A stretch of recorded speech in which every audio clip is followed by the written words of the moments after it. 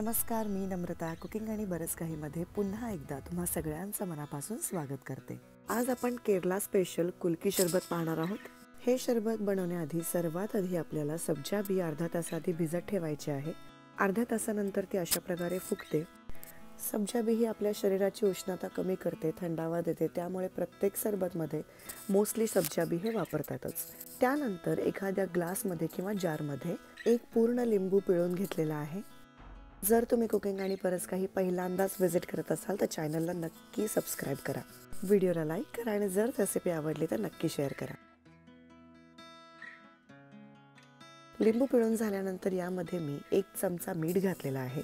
त्यानंतर दोन चमचे साखर आपल्याला इथे घालायची आहे. मी इथे जार घेतलेला आहे जेणेकरून याचं झाकण मी लावू शकते नंतर कारण का आपल्याला हे सरबत चांगल्या प्रकारे हलवून घ्यायचं आहे. तुमच्याकडे जर बॉटल असेल तर तुम्ही बॉटलमध्ये सुद्धा करू शकता किंवा ग्लास सुद्धा वापरू शकता. एखाद्या ग्लासवर दुसरा ग्लास चांगल्या प्रकारे फिक्स बसून तुम्ही हे शरबत बनवू शकता. आता आपल्याला या शरबतामध्ये लिंबाचा एक तुकडा चार ते पाच पुदिनाची पानं आणि दोन चमचे सब्जा बी आपल्याला हे घालून घ्यायचं आहे. आता सगळ्यात स्पेशल म्हणजे आपल्या कुलकी सरबतची स्पेशालिटी म्हणजे मिरची. हो तर आपण याच्यामध्ये स्लिट केलेली मिरची पूर्ण मिरची घालणार आहोत.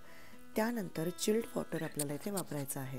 तुम्ही नॉर्मल पाण्यामध्ये आईस क्यूबसुद्धा घालू शकता. आता आपल्याला हे झाकण बंद करून आपल्याला याला चांगल्या प्रकारे शेक करून घ्यायचा आहे. जेणेकरून पुदिना मिरची आणि लिंबू याचा फ्लेवर जो आहे तो चांगल्या प्रकारे मिक्स होईल आणि आपलं कुलकी शरबत इथे रेडी होईल. तर अशा प्रकारे आपलं कुलकी शरबत हे इथे पिण्यासाठी रेडी आहे. तुम्ही याला सर्व करू शकता. अगदी सोपी आणि पटकन होणारी ही सरबताची रेसिपी आहे.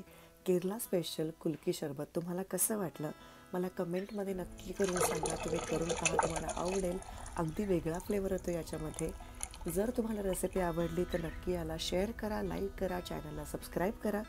असंच पुन्हा एकदा भेटूया एखाद्या नवीन रेसिपीसोबत तोपर्यंत पौष्टिक खा आणि स्वस्त राहा.